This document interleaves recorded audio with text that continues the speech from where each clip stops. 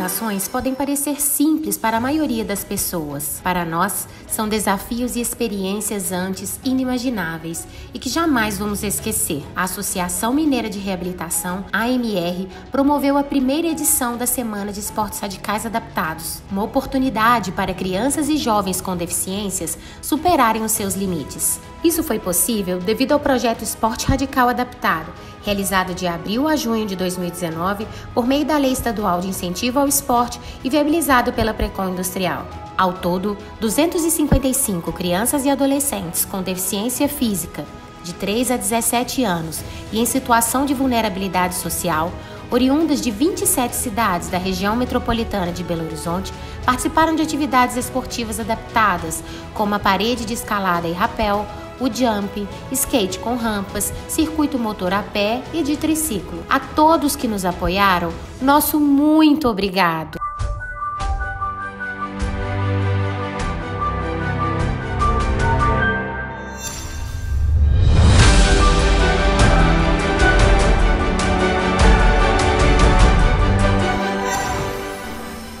Meu nome é Kelita Rodrigues, sou representante da Associação Camei Cairu, da aldeia indígena Condá, na cidade de Chapecó.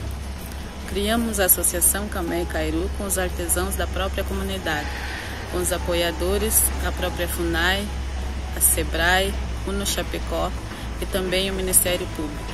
Com esses apoiadores conseguimos realizar várias exposições, conseguimos recursos para conseguir iniciar a obra da nossa Casa do Artesanato na própria aldeia Condá onde servirá de local de produção e de vendas, e também um ponto de encontro da, dos associados da comunidade.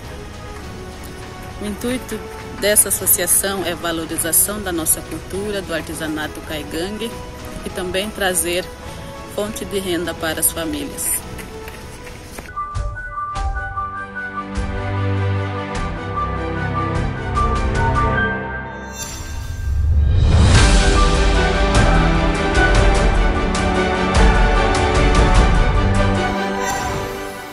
Olá, eu sou Dandara Hudson, travesti negra, diretora do coletivo amazônico Lesbitrans, aonde funciona o NEPAIS, que é o Núcleo Estratégico de Direitos Humanos e Promoção da Paz, que é responsável por acolher, qualificar e encaminhar denúncias de violências e violação de direitos humanos de mulheres negras e LGBTs que sobrevivem em regiões isoladas ao longo do rio e ao longo da Transamazônica.